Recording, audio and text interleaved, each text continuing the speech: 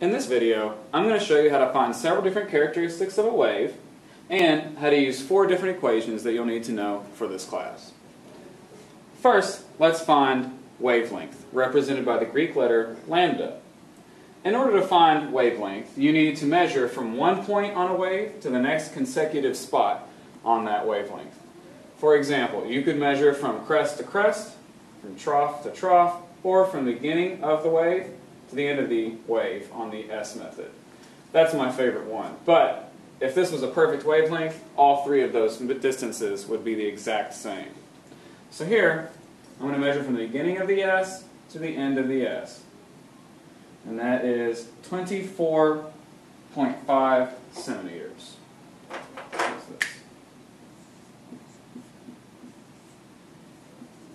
Just to reiterate, you could also measure from the, the middle of that crest to this one, and from the middle of that trough to the next one as well, and it should be the same, and actually, it looks like it is.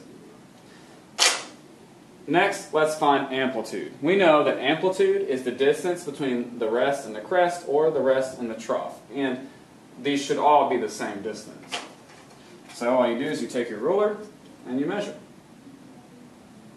That's 7.5 centimeters.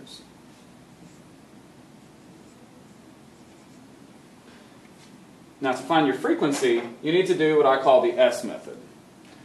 Simply trace an S on your wave train. Start at the beginning, all the way to the left, trace. That's one S and it's one wavelength. Mark it off so you know.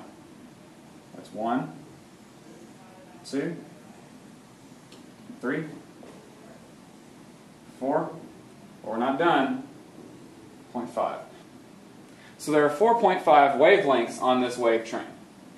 Since all of our wave trains in 7th grade are going to be for one second in time, that means however many wavelengths there are on a wave train, that's the exact same thing as your frequency. And of course the frequency is measured in hertz. So we have 4.5 hertz. All right. Now that we've measured everything that we can measure, we're going to have to start using our equations. The first one that we'll look at is height. And height is equal to 2 times the amplitude. We know that our amplitude is 7.5. So, if you simply do 7.5 times 2, that gives you 15. Of course, that's in centimeters. Next is our formula for velocity. Velocity is equal to wavelength times frequency. All you have to do for that is multiply the frequency times the wavelength. 24.5 times 4.5 is 110.25. We need a unit for this. Since frequency is how many waves per second, and we're measuring in centimeters, that means it's 110.25 centimeters per second. Next, let's look at finding energy.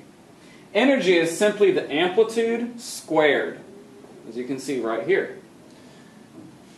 You can either use the fancy square button on your calculator, or you can simply multiply the number by itself. In this case, 7.5 times 7.5, or 7.5 squared, is 56.25.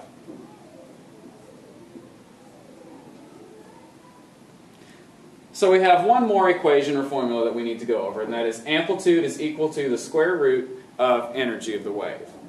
This is in case you're given the wave's energy and you need to find the amplitude. You'll probably need a calculator for this. Now, if you have a simple calculator like this, like the TI-108, or anything where you cannot put multiple parts of an equation in, or parentheses, or anything like that, all you have to do is type in the energy and then hit the square root button. That looks like the check mark. If you have one of the fancier calculators with a lot more functions where you can put in parentheses and different parts of equations, then you type in the square root button first, then you type in the number, and close the parentheses and hit enter. And that will give you the amplitude. For example, if I found the square root of 56.25, that would come out to 7.5.